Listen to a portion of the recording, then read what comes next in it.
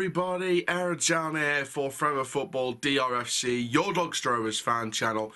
It is preview day because, of course, it's a massive fixture coming up now away at Gillingham. Now, before we get started talking about the game, please like the video if you've loved it, comment down below your thoughts and opinions, subscribe if you are new around here, click the notification bell so you know YouTube video, and let's get straight into this one. So, Gillingham, uh, the first of the, I guess, season-defining five games um, against teams between 16th and 22nd. Obviously, Gillingham going to be a very tough task. They like to uh, scrap results. They like to uh, never give up and try and get something out of the game, if not a win, a draw. Um, you know, we watching the highlights back after the Sunderland match. They looked like they had a bright start, and then Sunderland just piled on the pressure, and maybe they could have taken advantage of getting at least a point if Sunderland uh, after Sunderland went down to ten men, but uh, they just didn't do it in the end. But I think there's stuff there that's definitely going to worry our back line, and I think that it's going to be really hard to uh, to suggest that we're going to do anything in this game it's going to be an interesting one to see. It's going to be an interesting one to uh, to watch and see how we perform. Um, and I'm quite interested to see what it's going to be. So um, yeah, I'm looking forward to it. It should be quite interesting. But uh, anyway, let's just have a look then at Gillingham for those of you who need some statistics. Statistics on uh, on Gillingham. Uh, for those of you who just need a bit of a reminder of what they've been doing uh, so far this season. Of course, uh, they are placed in 20th. they're only four points ahead of us. So they're not doing as well. They're doing better than we are, but they're not doing as bad as. Uh, well, they're doing better than us. Let's just put it that way.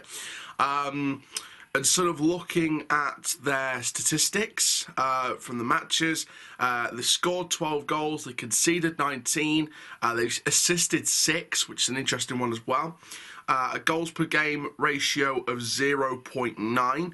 Uh, our goals per game ratio stands currently at 0.5, which is less, so which is considerably less as you would have expected. So um, you know, Gillingham isn't that much higher in goals per game and the well, the expected goals per game, but I think that they're definitely going to be expected to score at least one in this game.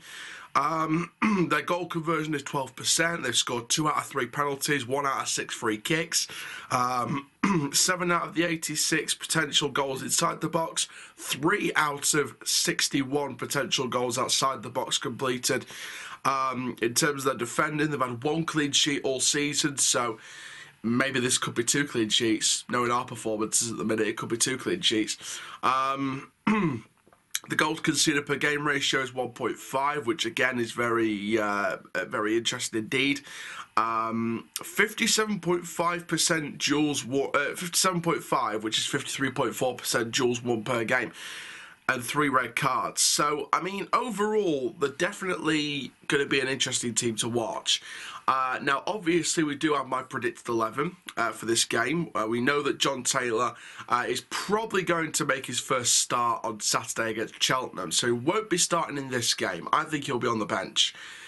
Ben Close, again, we'll see if he's back or not, but I'm, I'm sort of going a bit different here. I think uh, Wellens will change it around a bit after the defeat. I reckon we'll go something different. So uh, this is a combination of what I think he might do and what what I want to, to, him to do. So, and, and there's no question, Wellens will still be the manager. You know, I, have seen this whole thing about Football Whispers reporting that, you know, Wellens will be replaced in November by uh, former Huddersfield manager Lee Clark. And, you know, I don't believe it for a second. I, I, wouldn't believe it for a second. Not unless the club officially come out and say Wellens has gone, in comes Lee Clark. I wouldn't believe it for a second. And, you know, sources like the Free Press and the Yorkshire Post, if they put something out saying that Wellens is now gone, rumours about Lee Clark getting the job in the next 24 hours, then I might start to believe it. But off one site, no, I don't believe it. Um, but Wellens is still the manager. That's as far as we go. So 4-3-3. I'm not going to go with the 4-2-3-1. I think 4-3-3. Um, got Dahlberg in goal. We've got back four of Rowe, Anderson, Olowu, and Knoyle. I think Olowu should start. Ro-Shaun Williams has, made, has, been making too many errors of late, and I think that even since the season started, I think he's been making too many errors. So I think that yeah, uh, on Saturday, I think it was just one error too many. I think Olowu should be starting, in my opinion. Uh, midfield three are Smith, Bostock, Galbraith. Uh, Hiwula and Vilca on the wings with Dodoo up front. Çukur on the bench, Taylor on the bench. Close, I think, will be at least on the bench. Um, I've got a feeling Close will start, but I was sort of debating between him and Smith, and I'm like, I don't know. I, I think Close will probably start, but I would like to see Smith and Bostock and Galbraith operate as a midfield three. Um, but I think Close will probably start. Um, Taylor, Taylor on the bench, like I said, Shakira on the bench. I think Williams could be on the bench if Olowu starts. If not, the other way around. Um, Charlie Seaman, I don't think he'll be back, so I don't think he'll be on the bench, in my opinion. Um, Branden Horton will be on the bench. Lewis Jones will be backup goalkeeper. So it's as we it's what we expected with the bench, really. You know, a couple of academy players will be in there. Hassani might be on the bench. Who knows?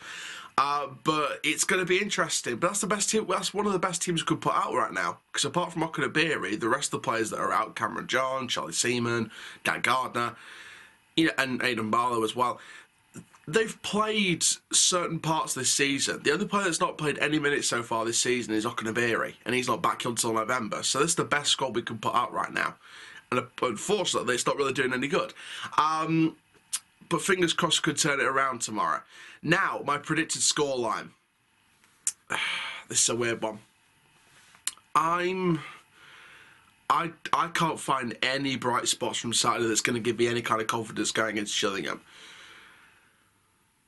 I think there's a chance we could take a point out of it. But again, do I have belief we're going to take a point out of it? I don't know. You know, I'll always support the team from minute one to minute 90, but it's, it's so hard. It really is so hard. So I'm going to go with